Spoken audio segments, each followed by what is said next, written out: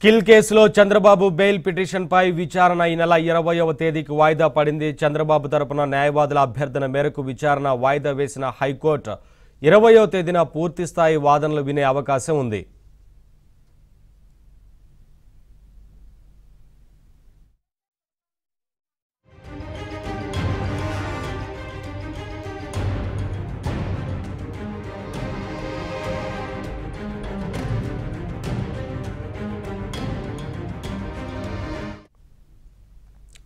Skill కేసులో Chandrababu bail పిటిషన్పై విచారణ ఈ నెల ఇరవయవ తేదీకి వాయిదా పడింది. చంద్రబాబు తరపున న్యాయవాదుల అభ్యర్థన మేరకు విచారణ వాయిదా వేసిన హైకోర్టు ఇరవయో తేదీన పూర్తిస్థాయి వాదనలు వినే అవకాశం ఉంది.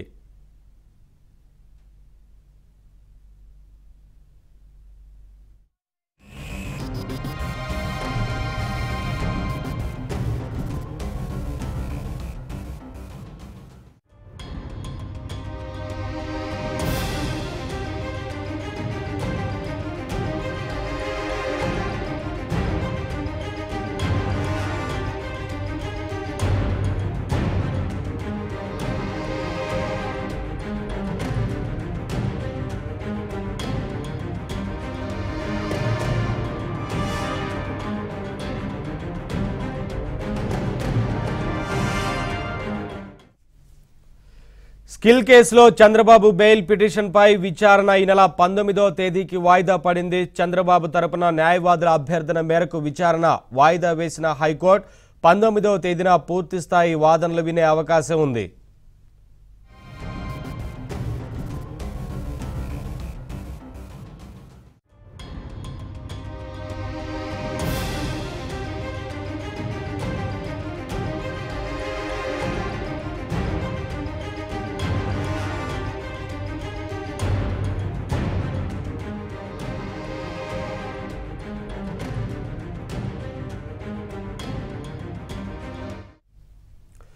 స్కిల్ కేసులో చంద్రబాబు బెయిల్ పిటిషన్పై విచారణ ఈ నెల పంతొమ్మిదో తేదీకి వాయిదా పడింది.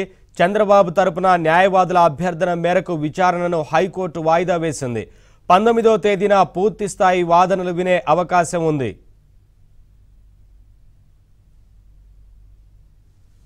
అప్డేట్స్ మా కరెస్పాండెంట్ సత్య లైవ్ ద్వారా అందిస్తారు హైకోర్టు నుంచి. సత్య పంతొమ్మిదో తేదీకి వాయిదా పడినట్లుగా తెలుస్తుంది. పూర్తి వాదనలో వినేందుకు అవకాశం ఉన్నట్లుగా తెలుస్తుంది కదా. ఏంటి వివరాలు? ఏపీ స్కిల్ డెవలప్మెంట్ కేసుకు సంబంధించి ఆ, చంద్రబాబు నాయుడిని అక్రమంగా అరెస్ట్ చేశారు. దీంట్లో సెవెంటీన్ ఏ నిబంధనను పాటించలేదు. ముందుగా గవర్నర్ అనుమతి తీసుకోవాలి ఆయన అరెస్ట్ చేయాలంటే దాన్ని అరెస్ట్ చే ఆ నిబంధనలు పాటించలేదు కనుక ఈ పిటిషన్ స్క్వాష్ చేయాలని గతంలోనే ఏపీ హైకోర్టులో వేస్తే ఏపీ హైకోర్టులో విరుద్ధమైన తీర్పు రావడంతో సుప్రీంకోర్టులో ప్రస్తుతం ఆ కేసుపై వాదోపవాదాలు జరుగుతున్నాయి. ఈరోజు మధ్యాహ్నం రెండు గంటల తర్వాత అటు చంద్రబాబు తరపున హరీష్ సాల్వే అదే ప్రభుత్వం తరపున ముక్కులు రోహిత్కి తమ వాదనలను ఇప్పటికే మూడు రోజుల పాటు వినిపించారు. ఈరోజు కూడా ఒక గంట గంటన్నర పాటు వినిపించిన తర్వాత ఫైనల్ ఆర్డర్స్ వచ్చే అవకాశం ఉంది. అయితే ఆర్డర్స్ రిజర్వ్ చేస్తారా ఏంటి అనేది కూడా చూడాల్సి ఉంది. ఒకవైపు సుప్రీంకోర్టులో కీలకమైనటువంటి దశలో కేసు ఉన్న నేపథ్యంలో చంద్రబాబు తరపున సీనియర్ న్యాయవాదులు దమ్మాలపాటి శ్రీనివాస్ కావచ్చు ఇతర సీనియర్ న్యాయవాదులు అందరూ కూడా ఢిల్లీలో ఉన్నారు సుప్రీంకోర్టు వద్ద. దీంతో ఈరోజు చంద్రబాబు తరపు న్యాయవాదులు విజ్ఞప్తి మేరకు బెయిల్ పిటిషన్ పైన వాదనలను ఈ నెల పంతొమ్మిదికి వాయిదా వేస్తూ నిర్ణయం తీసుకున్నారు.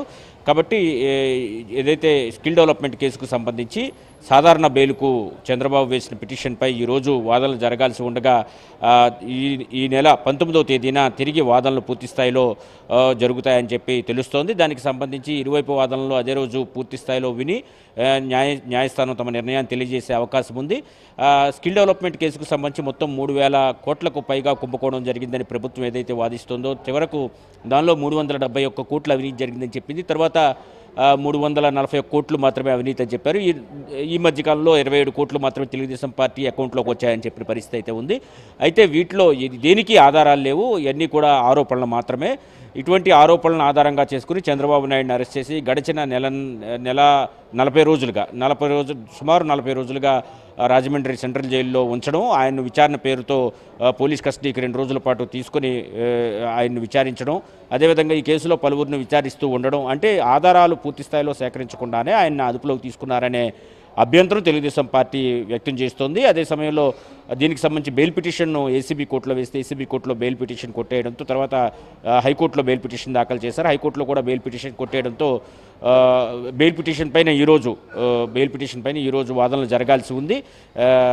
దీంతో ఈరోజు బెయిల్ పిటిషన్పై వాదనలకు సంబంధించి పూర్తి స్థాయిలో వాదనలు జరుగుతాయని అందరూ భావించారు. అయితే సుప్రీంకోర్టులో ఈరోజు సెవెంటీన్ ఏకి సంబంధించి స్క్వాష్ పిటిషన్పై తుది వాదనలో ఉన్న నేపథ్యంలో సీనియర్ న్యాయ న్యాయవాదులందరూ కూడా ఢిల్లీ వెళ్ళడంతో ఈ రోజుకు కేసును వాయిదా వేయాలని కోరడం జరిగింది. దీంతో దీనిపై పూర్తిస్థాయి విచారణ ఈ నెల పంతొమ్మిది పంతొమ్మిదో తారీఖు అంటే గురువారం పూర్తిస్థాయి విచారణను హైకోర్టులో చేపడతామని న్యాయమూర్తి చెప్పి పంతొమ్మిదో తేదీకి దీన్ని వాయిదా వేసిన పరిస్థితి అయితే కనిపిస్తోంది.